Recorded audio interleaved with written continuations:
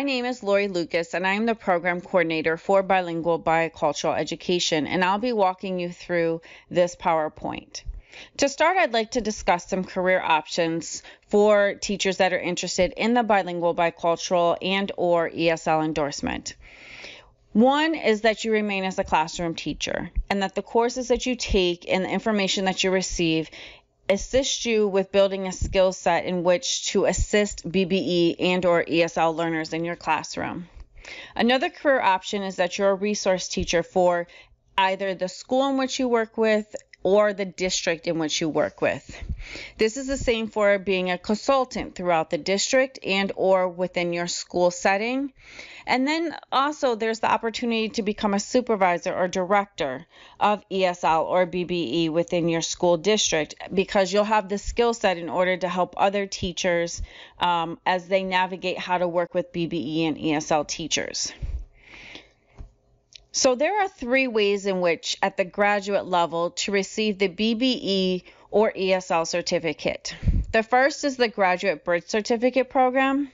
The second is our Masters of Education in Teaching and Learning, either bilingual bicultural education or ESL. And then we also offer what would be considered a Masters Plus 30 in the district, which is an educational specialist certificate in bilingual bicultural education. However, you can receive the ESL endorsement through this program. However, your degree program will say bilingual bicultural education. And again, the program is just designed to it's designed to assist teachers in classroom instruction um, who are, work with BBE and ESL students on a day-to-day basis.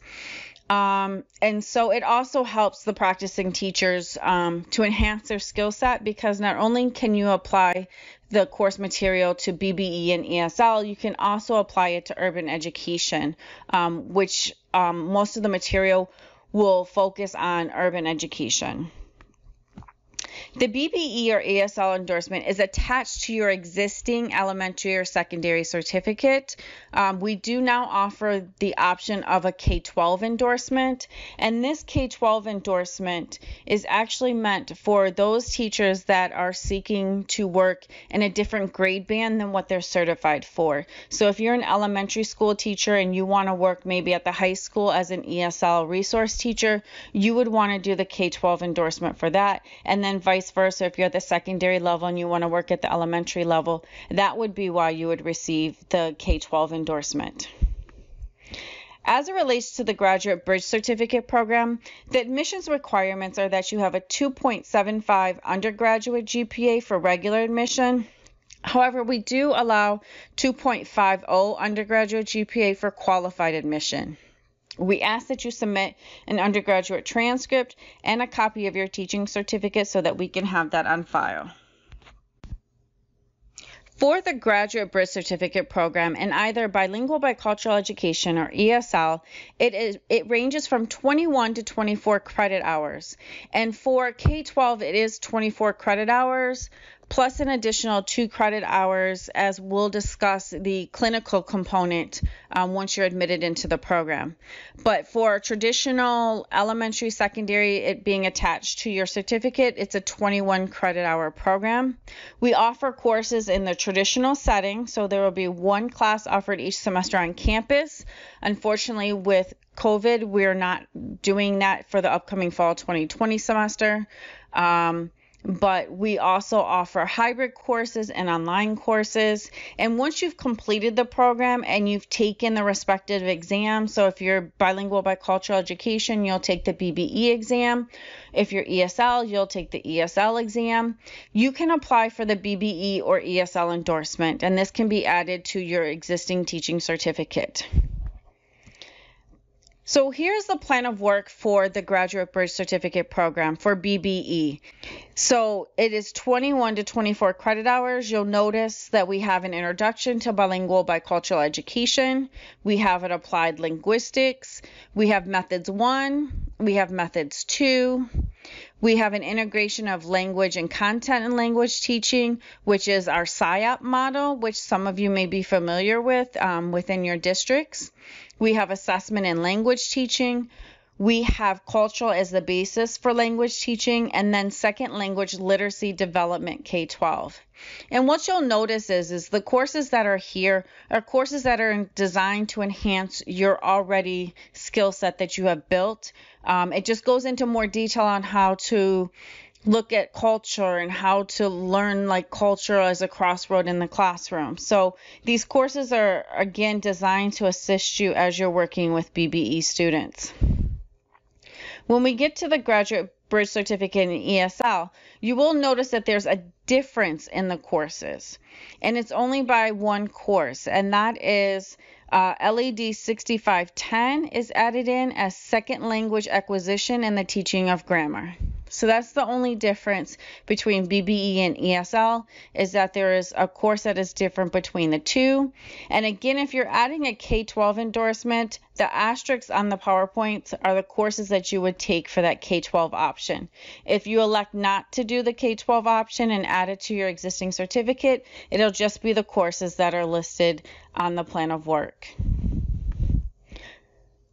For BBESL Masters of Education in Teaching and Learning, the admission requirements are the same. 2.75 undergraduate GPA for regular admission, 2.50 undergraduate GPA for qualified admission, transcripts, and this time you have to add a personal statement to include your career and academic goals. If you're already in a school district and you're trying to enhance your skill set, that's really all you would want to put into the prof- the prof- personal statement is that you're doing this in order to enhance your skill set as a teacher. This program is 33 to 36 credit hours. Again, it's 33 credit hours for the traditional program and 36 credit hours to 38 credit hours for the um, K 12 endorsement. The courses, again, are traditional, hybrid, and online. And once you've completed the seven to eight courses for the endorsement, you may apply for the BBE or ESL endorsement upon completion of your uh, exam. So this means you do not have to finish up the Masters of Education before you can apply for your BBE or ESL endorsement. You just need to complete the coursework and take the exam that is related to the program in order to apply for the endorsement. You will notice the Masters of Education Plan of Work for BBE is pretty much the same as the Graduate Bridge Certificate. Just at the bottom, we add four courses, and that's the General, Professional, and Research courses. So your research courses are TED 7000, which is the Intro to Master Seminar, and ED 7999, which is the actual writing of your master's thesis. We then have two courses that are general professional courses, and that's TED 7030, which is Foundations of Teaching and Learning, and TED 7060, Inclusive Education, Curriculum, and Pedagogy. When we get to ESL, you'll notice the same courses are listed. It's those same four courses. Um, so there is no real shift. Again, it's just a shift from LED 6510 being offered in BBE and ESL versus BBE 6560, which is a BBE course. As it relates to educational specialist and bilingual education, please note again that you can receive your ESL certificate. However, your degree will say educational specialist in bilingual education. So that's why you'll see the two plans for BBE and ESL and 30 hour credit hour programs. Again, with this, the MDE endorsement is available upon completion of those seven to eight courses, as well as successful completion of the BBE and or ESL certificate uh, exam.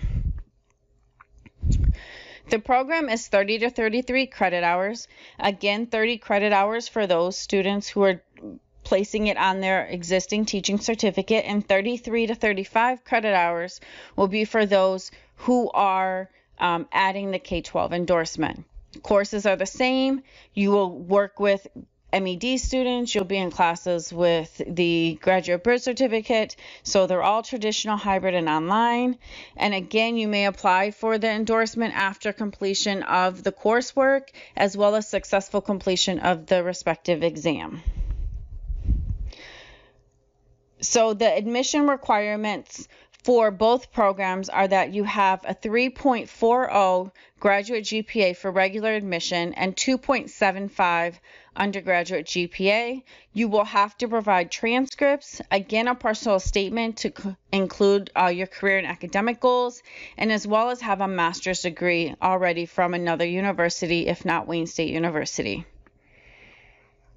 As you review the plan of work for the educational specialist, you will notice that the same courses that are listed for the graduate bridge certificate program and master's program are listed here. The only difference with this is upon completion of those courses, you will be allowed to take three elective courses at the 6,000 plus level. So that's nine additional credit hours that are required for the program. And once you're in with your academic advisor, they will go through which courses um, will work best for you um, for these elective courses. The same for the ESL plan of work, the same courses for the endorsement. And we also allow you to choose three elective courses at the 6,000 plus level for a total of nine credit hours that's required for the program. There is another option, and this is a non degree BBE ESL admissions requirement. And so for this, it just is that you would be a post bachelor student. Um, and in order to do the non degree, you would go through almost the same process. You would submit transcripts, you would have to have a bachelor's degree. Um, there is no application fee. Um, however, there also is no financial aid available for this route. Um, so if your district is going to pay for it, this may be the route to go. But just know that in addition to this, um, once you take these courses, you cannot use them for any graduate uh, purposes at all. And the courses again are listed as the same. So non-degree BBE is the same and the non-degree ESL is the same. I will tell you though, for the graduate bridge certificate program, if you're interested in that program, the courses are only allowed to be transferred over to a master's program. So if you're if you're thinking about doing a master's plus 30, you would have to admit to the educational specialist program. However, if you're considering going into the master's program, you could do the graduate bridge certificate, which is just the seven courses, and within 6 years you would have to come back if you wanted the master's and and apply for the master's program and take the four additional courses. To apply to the BBESL program, you can apply at gradapply.wayne.edu. And again, the admissions requirements are listed. Masters of Education, please have an undergraduate transcript available, GPA of 2.75, and a personal statement educational specialist certificate, that you have an undergraduate uh, transcript available, a graduate transcript, GPA of 2.75, and a personal statement. Application deadlines, we'd like for you to apply two weeks before the start of class, and that is for our Bridge Certificate, MED, and Ed Specialist. If you're considering the post bachelor program, you would want to allocate four to six weeks as that process goes through undergraduate admissions. Um, so it takes a little bit longer to get through. And I will let Mary discuss the tuition and fee information, scholarship information, and financial aid. Mary? If you need information about tuition and fees, go to the website on your screen, where you can get information about tuition and fee costs. You can also use the tuition calculator on that webpage to estimate your tuition cost. Information such as payment methods, residency requirements, course material fees, and other financial information is available on this website. There are many scholarships available for Wayne State students. The WSU Scholarships website contains information about university scholarships. If you click on the Departmental Scholarships link on that page, you can explore the scholarships available specifically for the College of Education students. Applications for College of Education scholarships are only open for a limited time.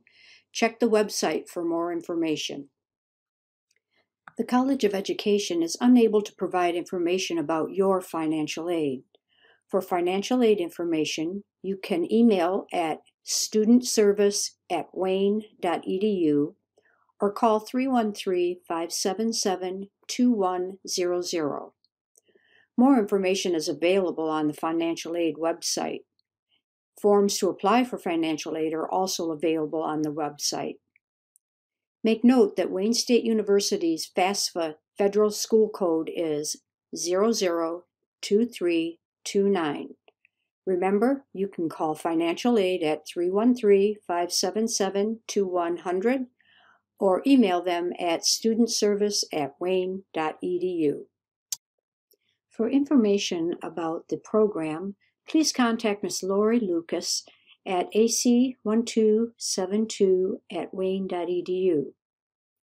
For information on how to apply for the program and application requirements, contact Dr. Mary Waker at m.waker at wayne.edu.